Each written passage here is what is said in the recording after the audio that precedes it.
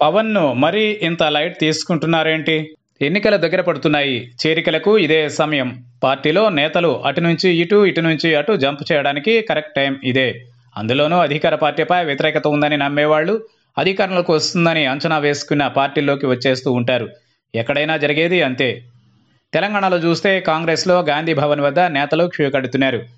Congress party వచ్చే ఎన్నికలలో గెలుస్తుందన్న నమ్మకం కావచ్చు లేదంటే తాము ఈ ఎన్నికలలో ఎలాగైనా పోటీ చేసి గెలిచి శాసనసభలో అడుగు పెట్టాలన్న కోరిక కావచ్చు. ఇక్కడ కాంగ్రెస్ బీఆర్ఎస్లలో చేరికలతో ధూమ్ధామ్గా రాజకీయ సీన్లు ఉన్నాయి. అదే ఆంధ్రప్రదేశ్లో మాత్రం చేరికలు లేవు. ప్రధానంగా చంద్రబాబు అరెస్ట్ జనసేనతో పొత్తు ఈ రెండు అంశాలతో ఆ కూటమికి హైప్ క్రియేట్ అయింది. అయితే అది మీడియాలోనా జనంలోనా అన్నది పక్కన పెడితే వైసీపీకి ప్రత్యామ్నాయం టీడీపీ కూటమి కాబట్టి చేరికలు ఎక్కువ సంఖ్యలో ఉండాలి. అయితే చంద్రబాబు ప్రస్తుతం జైల్లో ఉన్నారు. ఆయన బయటకు వచ్చిన తరువాత కొన్ని చేరికలు ఉండే అవకాశం ఉందని పార్టీ నేతలు అభిప్రాయపడుతున్నారు. వైసీపీ నేతలు వచ్చే పరిస్థితి ప్రస్తుతానికి లేదు. అయితే అదే సమయంలో కాంగ్రెస్ బీజేపీల నుంచి ఎక్కువ మంది నేతలు టీడీపీలో చేరే అవకాశాలున్నాయని చెబుతున్నారు. ఇక పొత్తు ప్రకటన చేసిన తరువాత జాయినింగ్స్ ఎలా ఉండాలి? మామూలుగా ఉండకూడదు. టికెట్ రాదని భావించిన టీడీపీ నేతలు కూడా గాజు గ్లాసు వైపు చూడాలి. టీడీపీ అంటే నేతలతో ఫుల్ అయిపోయింది. కానీ జనసేన అలా కాదుగా.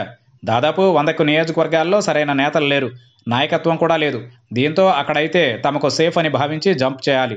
కానీ టీడీపీతో పొత్తు ఉంటుందని ప్రకటించిన తర్వాత కూడా జనసేన వైపు నేతలు చూడడం లేదంటే ఏమని భావించాలి? అది ఎవరి ఊహకు వారిని వదిలేయాల్సిందే. అంటే ఇప్పటికీ జనసేనపై నమ్మకం లేదని అనుకోవాల్సి ఉంటుందన్నది కాదనలేని వాస్తవం. చేరికలు లేకపోవడానికి కారణాలేంటి? పవన్ కళ్యాణ్ నిజంగానే చేరికలను ప్రోత్సహించడం లేదా? లేక నేతలే ఆ పార్టీలో చేరడం అనవసరం అనుకుంటున్నారా అన్నది మాత్రం ఇప్పుడు పొలిటికల్ క్యారిడార్లో చర్చగా మారింది.